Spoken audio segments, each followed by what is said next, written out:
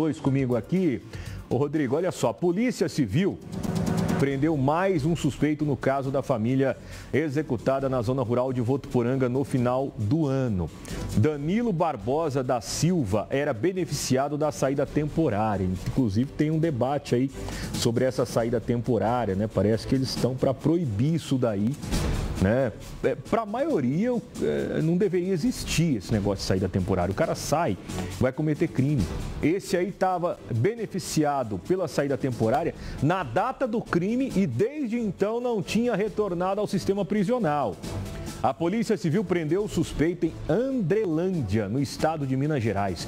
Outros dois suspeitos de participação do crime tinham sido presos em janeiro em Valentim Gentil e Pedranópolis. Anderson Marino, eh, Mirelle Tofanelli e a filha do casal, Isabelle, foram encontrados mortos no dia 1 de janeiro em um canavial no município de Votuporanga. A família tinha saído para almoçar em Rio Preto no dia 28 de dezembro, pelo menos foi isso que eles falaram ali para os familiares, e então essa família desapareceu.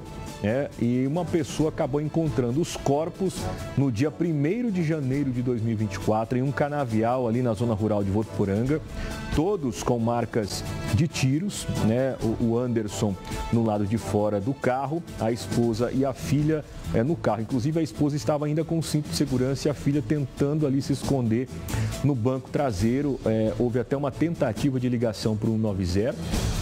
Essa tentativa não foi concluída, então talvez a menina, né, ao ver ali o pai é, é, sendo executado, tentou acionar a polícia, mas acabou que não deu tempo.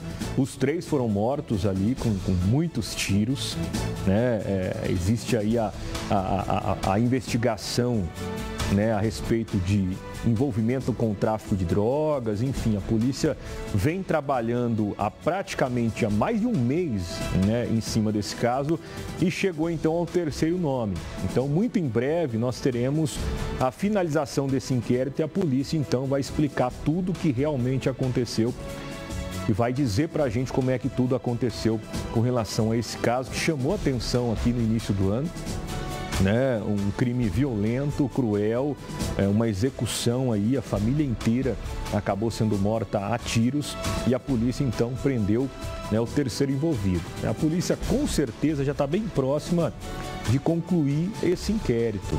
Né? 30 dias de investigação, três pessoas detidas, suspeitas aí da participação nesses três homicídios, né, nesse triplo homicídio registrado na zona rural aqui é, de Votuporanga. A polícia dando resposta aí para a sociedade. Né? A polícia aí de, de São Paulo, em parceria com a Polícia Civil de Minas Gerais, atuando na prisão desse terceiro envolvido e com o depoimento dele, né, a polícia provavelmente vai chegar então ao desfecho dessa história que a gente vai continuar acompanhando aqui no Brasil